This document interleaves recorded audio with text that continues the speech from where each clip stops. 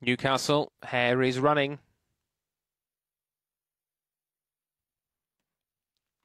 And they're off, racing away.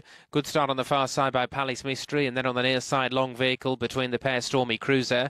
Deep out, Droopys Hooray, and then further back, Taranaki and Ballyregan Simba down the far side. Palace Mystery with a three parts of a length leader long vehicle. Third place is with Stormy Cruiser. Favourite Droopys Hooray's got a pick up round the outside, but is now doing so. Long vehicles picked it up from Palace Mystery. Droopys Hooray circling the field off the turn. It's just long vehicle, but here's Droopys Hooray. Droopys Hooray up in time time. Favourite got up to win the last uh, on the outside, stayed on really well. Another A1 win for him here at Newcastle. That's eight wins from 13 starts now as he beat four and five, six, four and five.